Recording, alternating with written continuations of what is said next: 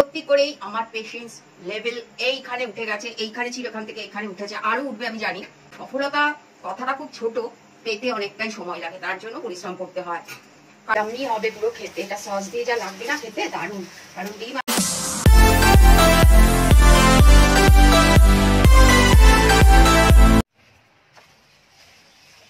hi hello good afternoon my YouTube family welcome back to my new blog শুরু হলো নতুন আরও একটা দিন।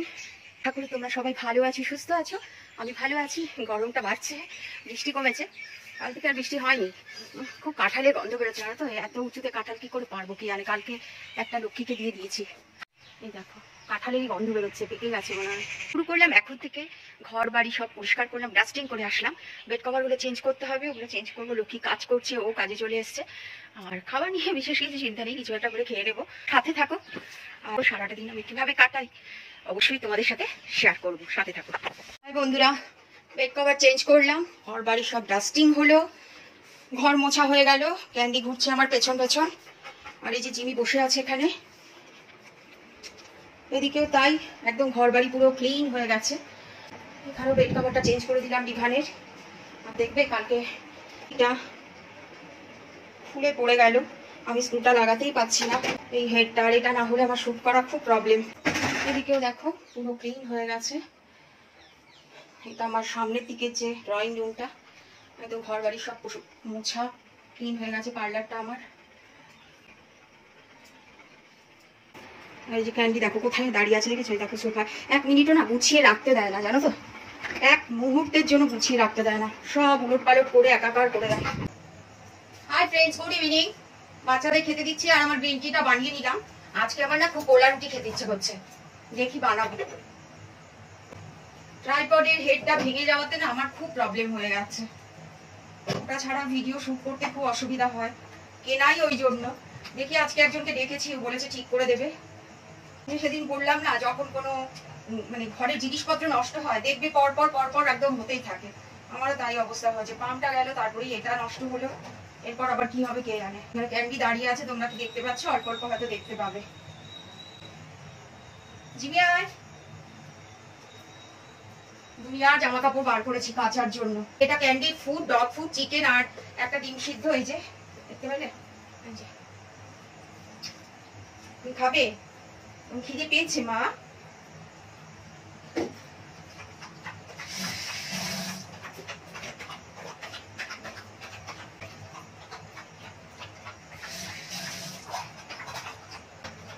একদম গরম, কিচ্ছু কমছে না, জানো তো? বিকেল থেকে বৃষ্টি হচ্ছে, হালকা, খুব হালকা, আরও বেশি গরম লাগছে।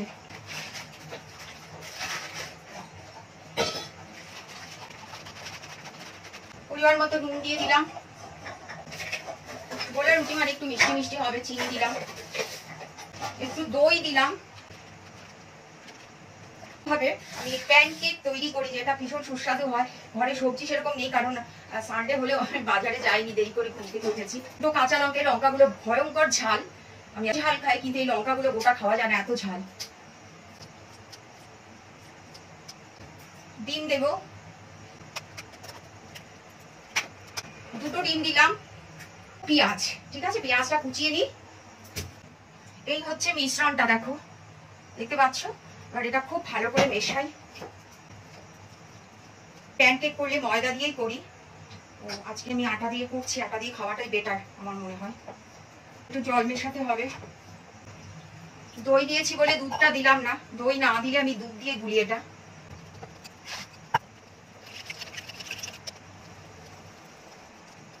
প্যানকেকের এই মিশ্রণটা যতই ফ্যাটাবে ততই ভালো হবে। ফেটিয়ে রেস্টে রেখে দেবো পাঁচ ছ মিনিট। প্রথমে একটা আগে আমি এখন করব। গ্রিন টি বানিয়েছি, খাব। তারপর ওটা ঢেকে রেখে দেবো, রাত্রে খাবার আগে বানাবো।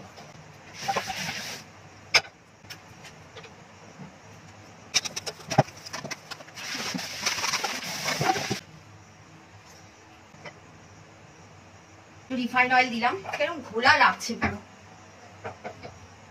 কয়েকটা বাসন ধুয়ে নিলাম। আমার বাচ্চাদের খাবার বাসনগুলো। কারণ ওদের সকালবেলাতে আবার লাগবে।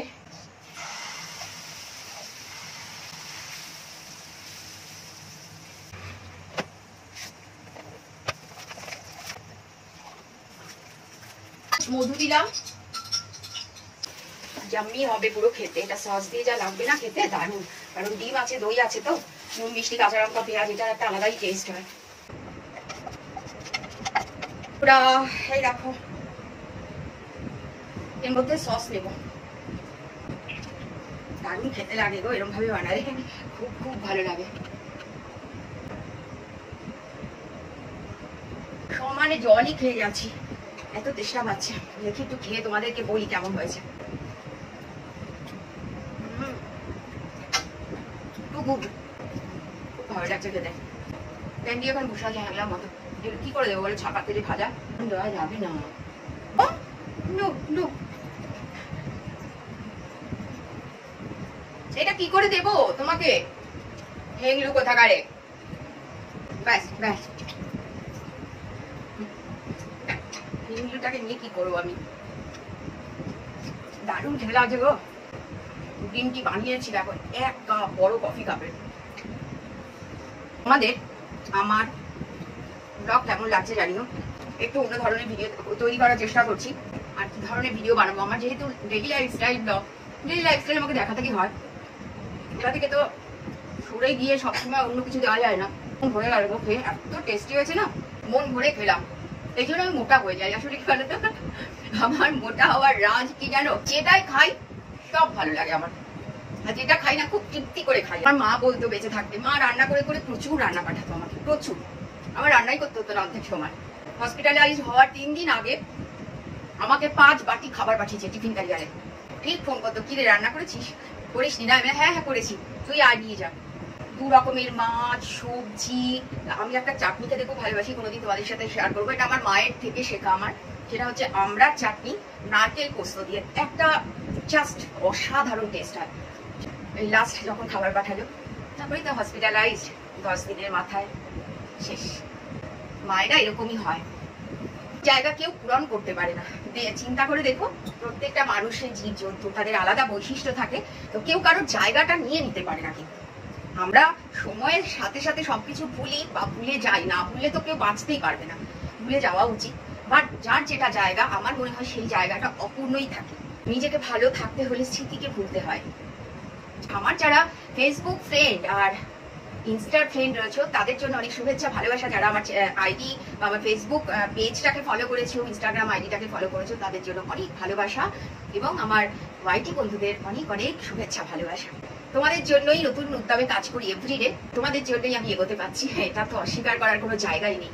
তো এখানে অমলেট বানিয়ে নিলাম, একটু সস দিলাম। পাস্তা, পিৎজা সস থাকে না? সেটা দিলাম, এটা দিলে না খুব ভালো ফ্লেভার হয় টেস্টি হয় খুব।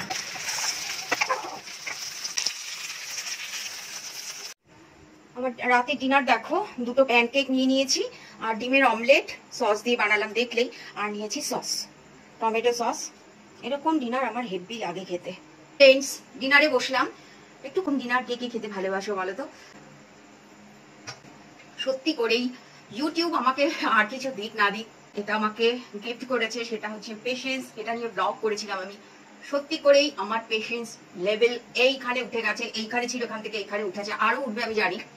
সফলতা, কথাটা খুব ছোট, পেতে অনেকটাই সময় লাগে, তার জন্য পরিশ্রম করতে হয়। যদি আমার প্ল্যাটফর্মটা যদি তৈরি করা থেকে থাকতো বা নোন ফেস হতো আই মিন নোন ফেস বলতে আমি এটাই বোঝাতে চাইছি যে টিকটক থেকে যদি আসতাম, ধরো প্রচুর রিলস বানাতাম আমি অনেক দিন আগে থেকে, তাহলে তো আমার দেখতে মানে খুব তাড়াতাড়ি গ্রো করতে পারতাম বাট আমার তো সেই ব্যাকগ্রাউন্ডটা কিছু ছিল না। আমি তো না জেনে দুম করে এসে এই জায়গাটাতে ধীরে ধীরে কষ্ট মানে প্রচণ্ড কষ্ট করে আমি আজকে এই জায়গাটাতে এসেছি। কিছুই হয়নি এখনও, এই জায়গাটাতে এসেছি মানে কিছুই হয়নি। আরও এরকম ডাবল ট্রিপল কষ্ট করতে হবে, অধ্যাবসায় করতে হবে, অনুশীলন করতে হবে আমাকে। খুব বড় বড় কথা এগুলো। আর সত্যি তাই এগুলোকে ফলো করলে সত্যি মনের জোর বাড়ে। একদম করলে আর চ চ চ করে তুমি সফলতা শীর্ষে উঠতে পারবে কি? পারবে না। কি হবে বলো তো মনের জোর বাড়বে। মনের জোর বাড়লে সেই কাজটাকে করতে আমাদের সহজ হবে। মানে ধাপে ধাপে আমরা ওপরে উঠতে পারব। যেখানে মনের জোর থাকবে কনফিডেন্স থাকবে হ্যাঁ আমি এটা করতে পারব। এটা কঠোর অধ্যাবসায় অনুশীলনের দ্বারাই সম্ভব। এবং ধৈর্য। এই তিনটে জিনিস, ধৈর্য, অধ্যাবসায় আর অনুশীলন, এই তিনটে জিনিস এটার পেছনে আমাকে লেগে থাকতে হবে।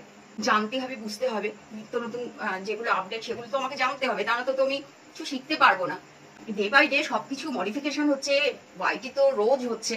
সেইগুলোকেই বলছি আমি অধ্যাবসা এগুলোকে আমাকে পড়াশোনা বা জানার চেষ্টা করলে পেশেন্স নিয়ে। তবে আমি নিজের উপরে বা নিজের চ্যানেলটার উপরে সেটা করলে ট্রাই করে কিছু একটা জায়গা নিশ্চয়ই আমি পাবো, সেই মনের জোরটা আমি তৈরি করেছি। এটাই আমি বোঝাতে চাইছি তোমাদের। চেষ্টা করছি আরও যত ভালো করে কন্টেন্টগুলো দিতে, ভালো করে ভিডিও বানাতে, এটা আমার রোজকার চেষ্টা। প্রথম দিন থেকে ধীরে ধীরে নিজেই বুঝি নিজে আগের ভিডিও একরকম ছিল, এখনকার ভিডিও ধীরে ধীরে ধীরে ধীরে প্রত্যেকেরই এটা একটা লেভেলে গিয়ে দাঁড়ায়। আমারও নিশ্চয়ই হবে। অধ্যাবসায় অনুশীলন। আর ধৈর্য তিনটে থাকলে সফলতার সিঁড়ি বেয়ে উপরে উঠতে সহজ হবে। এটা হচ্ছে মোদ্দা কথা। এই তিনটে কিন্তু আমাদের সফলতা এনে দেবে না সাকসেস হয়ে গেলাম না, এই তিনটে করেই। পড়াশোনা করে গেলাম একেবারে দুম করে সাকসেস হয়ে যাব না।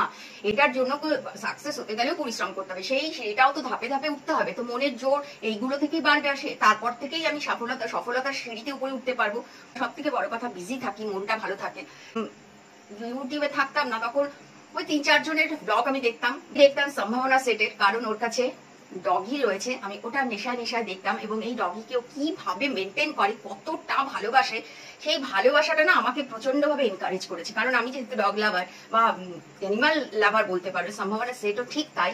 একদম সেম তাই, আমিও যেরকম রাস্তা কুকুর বা গরু থাকলে একটু নেমে আদর করা, একটু কিছু খেতে দেওয়া, ওর মধ্যে যে জিনিসটা আমার ভীষণ ভালো লাগবে সেই জন্য ওরটা সৌরভ জেসে আর ফ্লাইং বিস্ট এই তিনজনের আর এইখানে এপি ব্লগ ছাড়া আমি আর কারও সেরকম ভাবে ভিডিও দেখতাম না। ভালো থেকো, সুস্থ থেকো, আর আমার পরিবারে যারা এখনও বন্ধু হওনি, যদি ভালো লাগে আমাকে বা আমার ভিডিও অতি অবশ্যই আমার সাথে যুক্ত হয়েও। আজকের মতো এখানে শেষ করছি। আসব নতুন কোনো ব্লগ নিয়ে অন্য কোনো দিন। Tata good night